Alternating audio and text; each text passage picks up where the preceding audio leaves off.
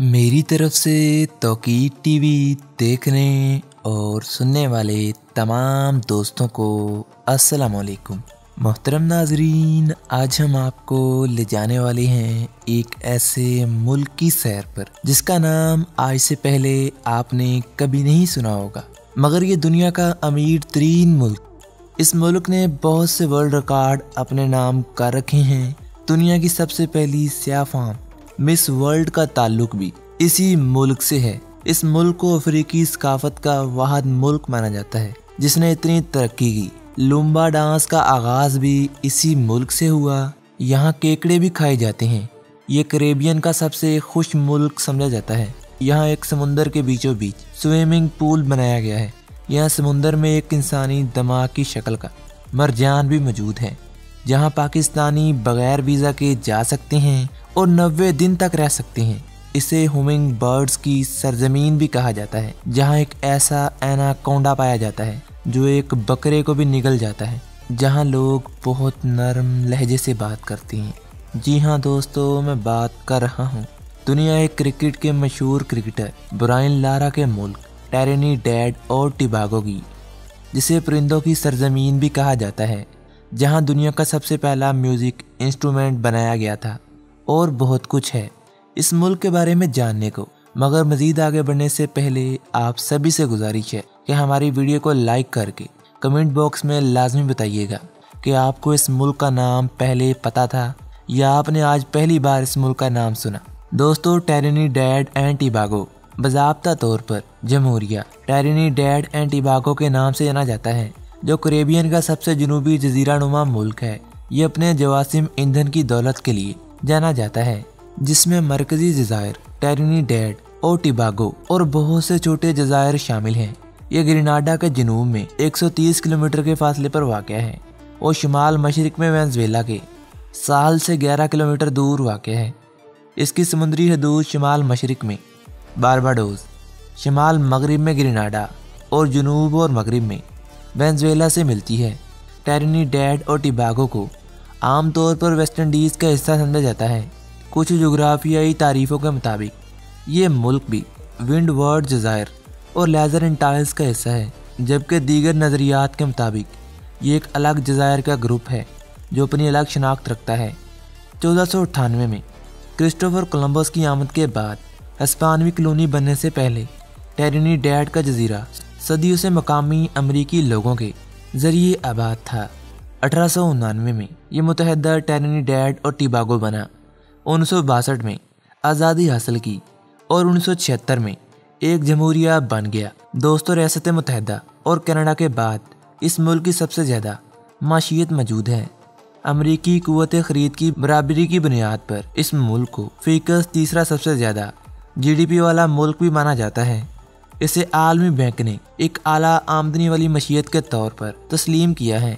ज़्यादातर करेबियन ममालिक और ख़त्ों के बरक्स, जो सियाहत पर ज़्यादा इसार करते हैं, इस मुल्क की माशियत बुनियादी तौर पर सनती है, जिसका ज़ोर पेट्रोलियम और पेट्रोकेमिकल्स पर है।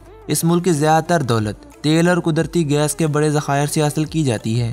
टेरिनी डैड और टिबागो, अपनी अफ्रीकी और हिंदुस्तानी सकाफत के लिए मशहूर है, जो इसके बड़े मशहूर कार्निवल दिवाली और होसे की तकरीबात में झलकता है। साथ ही स्टील पैन, लैम्बो और मसीकी के अंदाज इस मुल्क को मसीकी की जाए पैदाइश बनाते हैं। ये मुल्क दुनिया की दूसरी सबसे तीखी मिर्चों का घर भी है, जिन्हें मरोगा मिर्चें कहा जाता है। जो दुनिया की गर्म तरीन मिर्चों में शुमार होती हैं, ये सबसे पहले जजीरे के, जनूब में मरोगा के तारीखी गाँव में उगाई गई थीं। इस जगह को क्रिस्टोफर कोलंबस की लैंडिंग की जगह। और मैरिकिंग्स का घर भी कहा जाता है। आलमी शहरत याफ्ता चॉकलेट ब्रांड का ताल्लुक भी इसी सरजमीन से है, जिसे टरंटारियो कहा जाता है। यहाँ कोको के बहुत से बागात मौजूद हैं, जिनसे ये चॉकलेट तैयार की जाती है। ये दुनिया भर में मशहूर है।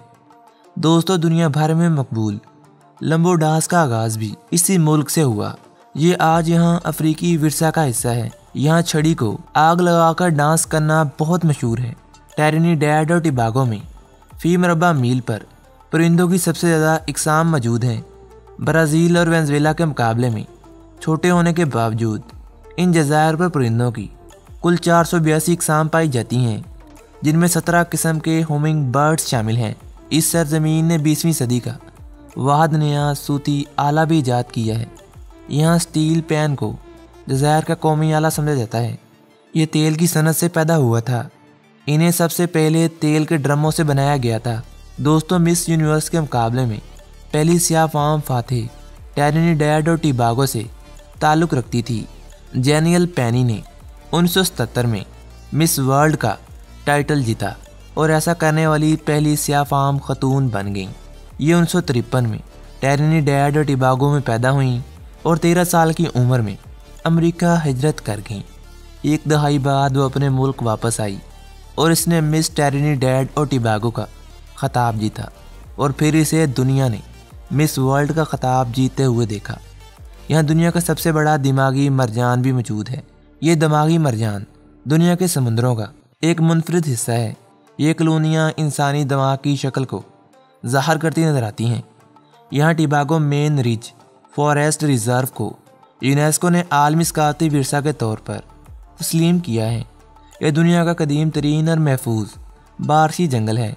यह रिज़र्व तेरह अप्रैल उन्नीस सौ छिहत्तर को कायम किया गया था और इसका रकबा तीन हज़ार नौ सौ अट्ठावन एकड़्स है।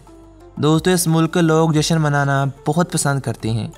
इस मुल्क में मजहबी त्यौहार सिर्फ़ अपनी मजहबी बरदरीों तक महदूद नहीं रहते, बल्कि दीगर कम्यूनिटीज़ भी यकसा होकर जोशो खरोश से इसमें शिरकत करती हैं। ये सबसे ज़्यादा तरक्की पजीर करेबियन कौम भी है। 2011 में इस मुल्क को तरक्की पजीर ममालक की फरिस्त से निकाल दिया गया और पेट्रोकेमिकल इंडस्ट्री और पेट्रोलियम इंडस्ट्री, मैन्युफैक्चरिंग सेक्टर और सियाहत मुल्क की मशीत में अहम शराकत दार बन गए। इस मुल्क का झंडा सुर्ख पस मंज़र पर मुश्तमिल है, जिसमें सफ़ेद सरहदों के साथ तिरछी स्याह पट्टी मौजूद है। ये रंग, ज़मीन, पानी और आग के नासर को ज़ाहिर करते हैं। इस मुल्क का दारकूमत शहर पोर्ट ऑफ़ स्पेन है, जो कि टेरनी डैड के जजार पर वाक़ है। दोस्तों लेजेंडरी क्रिकेटर ब्रायन लारा का ताल्लुक भी इसी सरजमीन से है। लारा वसी पैमाने पर दुनिया के अजीम तरीन बल्लेबाजों में से एक समझे जाते हैं। इस मुल्क में समुंदर के बीच में एक स्विमिंग पूल मौजूद है। यह नालियान पूल एक कुदरती पूल है, जो तकरीबन एक मीटर गहरा है। और क्रिस्टल साफ़ पानी रखता है।